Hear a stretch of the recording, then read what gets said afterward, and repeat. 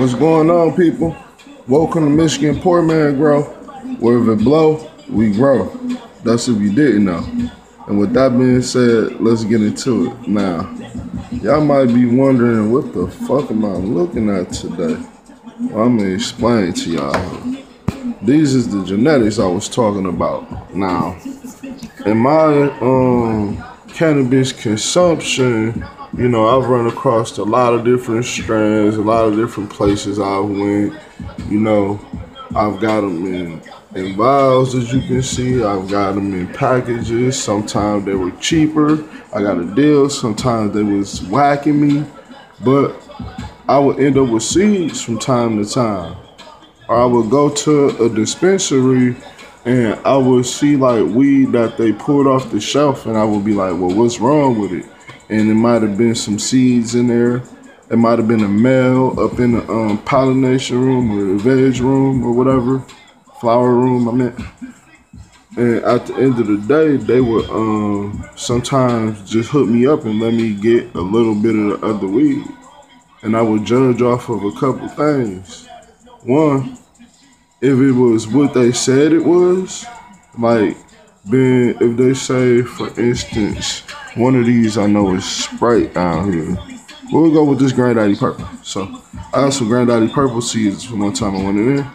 And when I got the seeds, like I said, I was the one I was talking about specifically where they were taking the weed down, but it was some other weed I had brought. And I'm like, well, let me buy a gram or two. So he just hooked me up with a little gram or so. But I judged off of if it looked like it and it tastes like it if it's different than other weeds, and bottom line, if it's smoked like it, what is it smoking like? So, a lot of these different genetics, um, some of them is from bag seeds, some of them from a lot of them from dispensaries, and some of them are just from um, some people I know that's into the cannabis too. A lot of caregivers and just other um, cannabis consumers or either um, patients. So, I'll do, let's get into it now. The reason I was showing y'all this video mainly was because I wanted to show y'all this pollen that I got. I don't know if y'all seen my videos about a year ago, but y'all can see my plants. And the biggest plant was this. It was the cherry lemon glue stick, which was cherry skunk times Gorilla Glue number four times the lemon OG haze, or I think it was the OG ties the lemon haze or something like that. It was a lemon genetic and it was a cherry genetic. So the lemon plant ended up being the male. I pollinated the cherry plant and it ended up being the male going too long and I got some pollen. So that's what this is.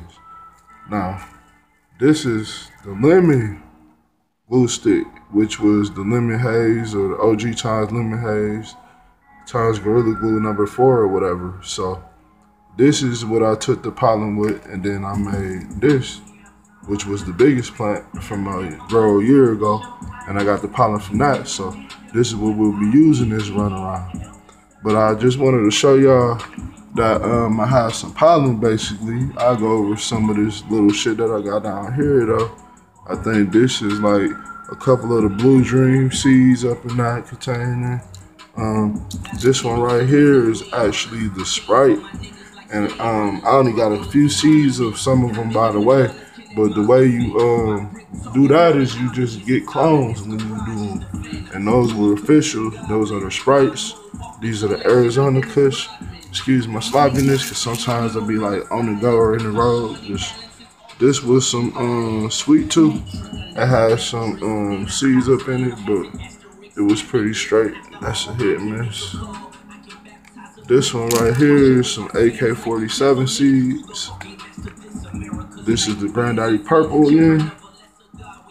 These is a um, few cupcake seeds somebody gave me. The cupcakes, them bitches was blowing heavy. These ones is actually a couple in here. Well, we got we got the Dosey Dos right here, a couple Dosey Dos. And this one we got a um, couple of Fruity Pebbles. I think I got a couple fruity pebbles from a couple different people. Um, these ones are some more AK-47s, I think. Uh, No, sound like we got surprises in here or something. What's this? Oh yeah, this is uh, um, another blue dream, another phenotype of the blue dream that is, and this one is um, some rude boy, some rude boy seeds. Them pictures was kicking, and these ones is.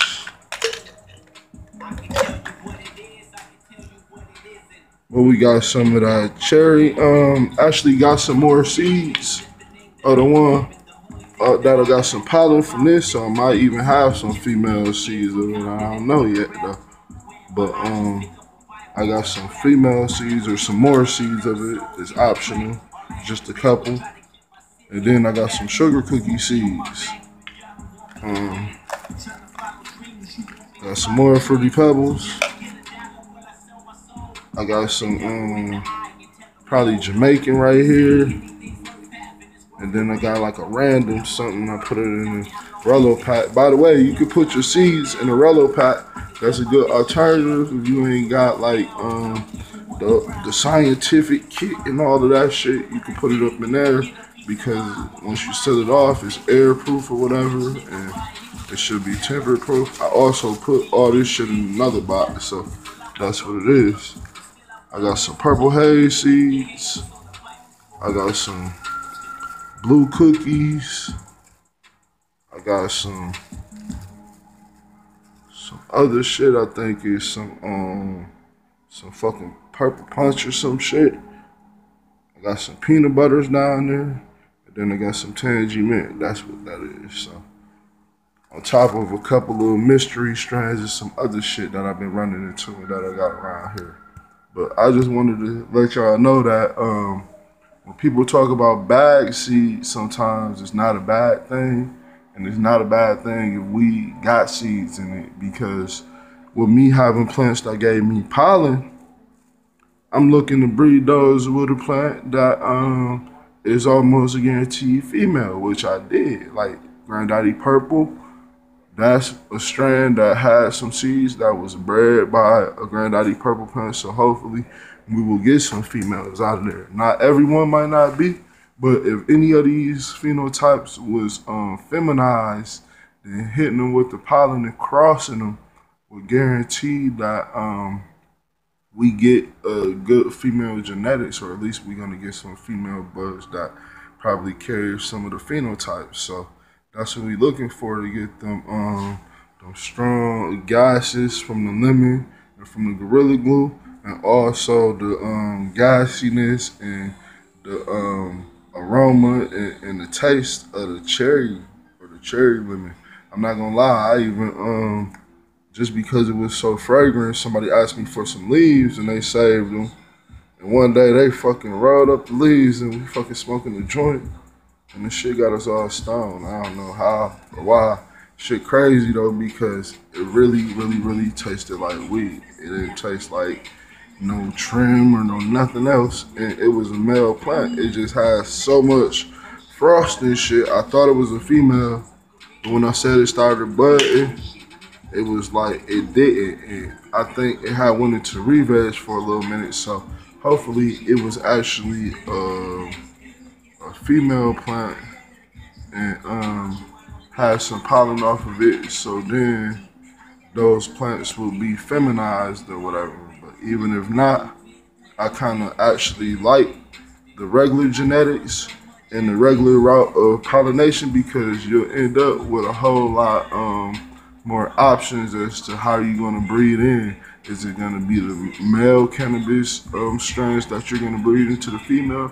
Or is it going to be a different male from a different cannabis strain and you cross it with a female that's of that strain? So. It's options with it as long as you um like I say keep it procreated. If you don't have but a couple of seeds from it, don't worry about it. You can plant them all at the same time and run that strand heavy.